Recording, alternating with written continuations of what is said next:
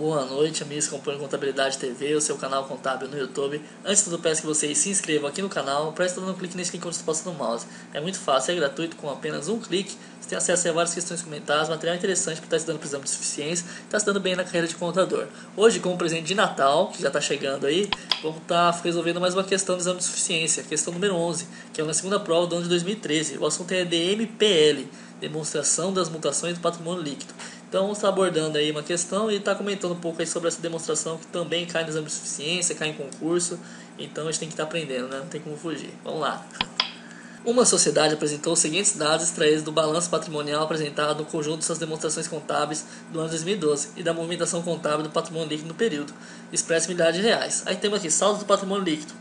Do lado esquerdo temos o nome das contas, né, como capital social, reserva de lucros, ajuste de avaliação patrimonial, e o total do PL. Do lado direito temos as datas e seus respectivos valores, né, que representam seus saldos nas respectivas datas. É, do lado direito, saldo inicial, que é o ano de 2011, né, 31 de 12 de 2011. E do lado esquerdo, o saldo final, que é 31 de 12 de 2012, o saldo aí mais recente. Né. E aí vamos ver aqui, fala também a movimentação do patrimônio líquido, né? temos ocorrido aqui quatro acontecimentos, né? constituição da reserva legal, no valor de 40 mil reais, o lucro líquido do exercício foi 900 mil reais, dividendos obrigatórios do período foi de 160 mil reais e o ganho em instrumentos financeiros disponível para venda foi de 1.500 reais. E aí o mais importante é a pergunta, né? Com base nos dados apresentados, considerado, considerando que a única reserva de lucro constituída é a reserva legal, a demonstração das mutações do patrimônio líquido em milhares de reais para o ano de 2012 será de... Aí a gente vai ter quatro alternativas né, aqui no enunciado, você pode estar vendo aqui, né? A gente vai ter quatro alternativas, né? Tem a alternativa A que já te dá uma demonstração do patrimônio líquido já pronta, ele quer saber se essa aqui está certa ou se está errada.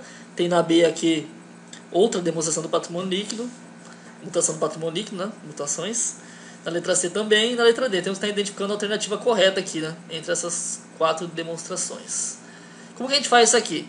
Para estar tá facilitando a compreensão, eu resolvi aqui no Excel. Peço que vocês aumentem a resolução do vídeo, né?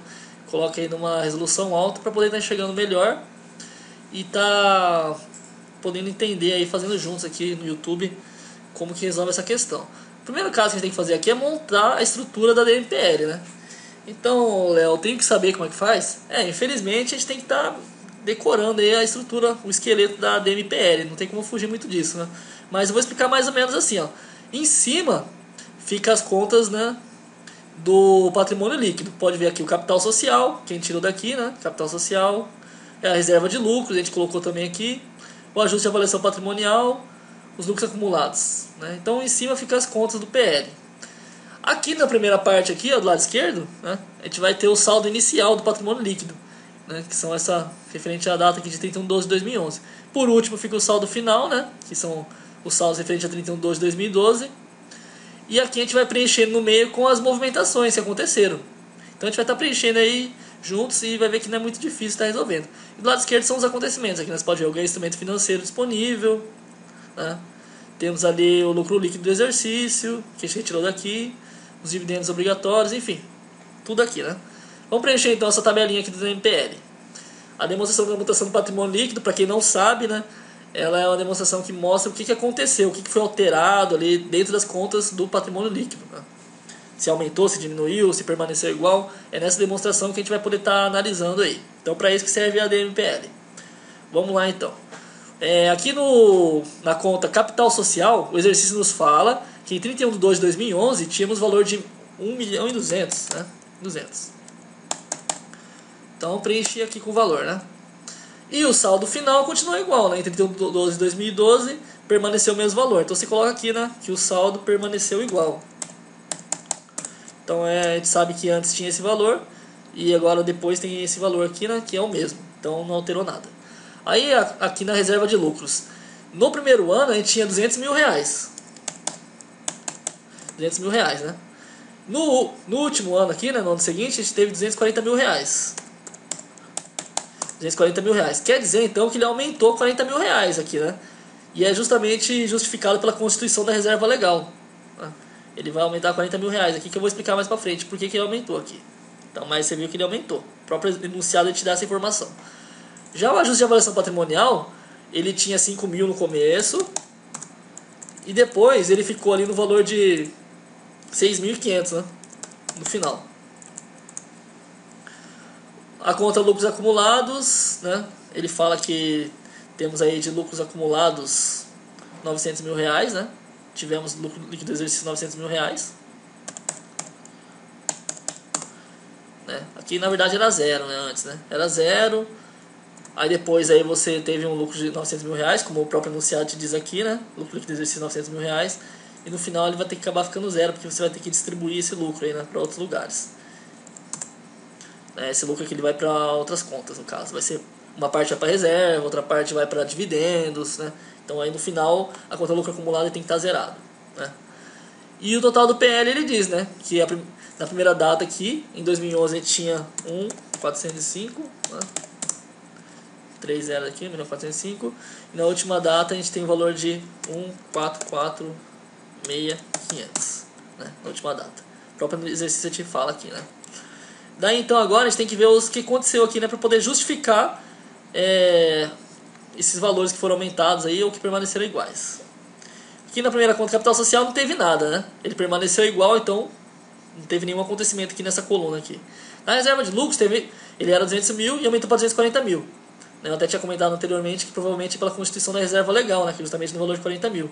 Então a constituição da reserva legal, né? Constituição da reserva legal fez aumentar 40 mil levando o saldo final de 240 mil. E de onde que veio esse 40 mil? Ele provavelmente veio daqui, né? Dos lucros, lucro acumulado, né?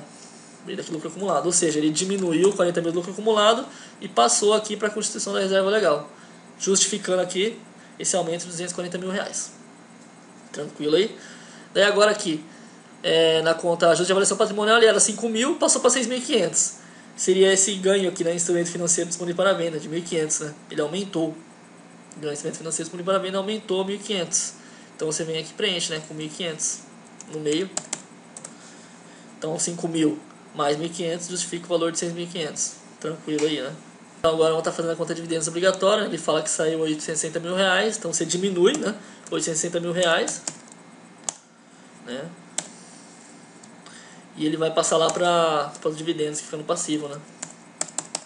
Então diminuiu aqui. Você vai ver que antes você tinha 900 mil de lucro, menos 40 mil, né, que foi para a reserva legal, menos 860 mil de dividendos, justifica aqui zero. Né?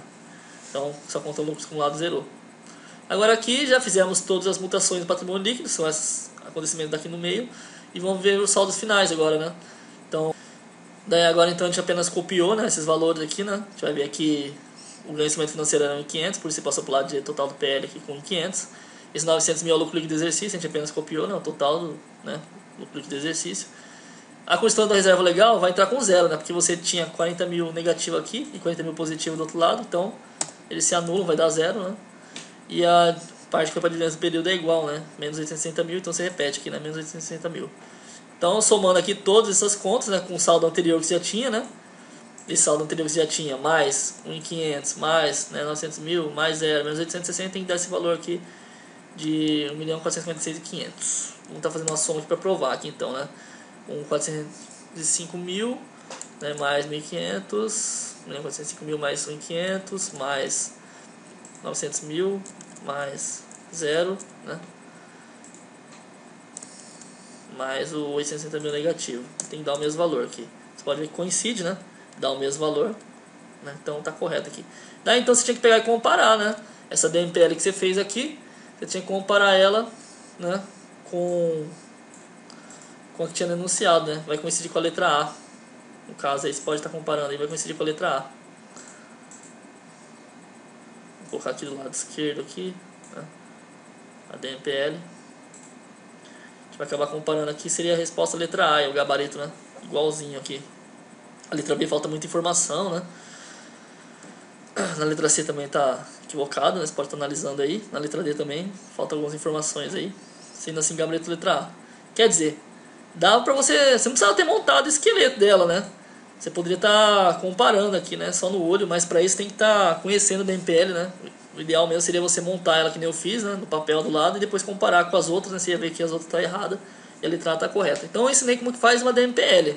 É um pouco complicado de fazer aí, porque muitas informações, muitos saldos que são alterados.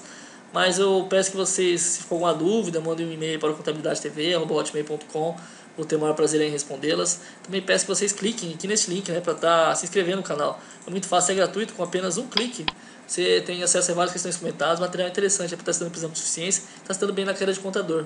Muito obrigado por assistiu o vídeo e até a próxima. Se for alguma dúvida aí, como funciona o DMPL, por favor envie um e-mail, que eu vou estar tá tentando esclarecer aí com mais calma.